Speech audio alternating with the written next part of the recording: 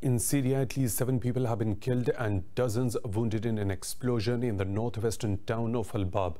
Locals say the blast occurred when a bomb-laden vehicle blew up in a crowded area near the town.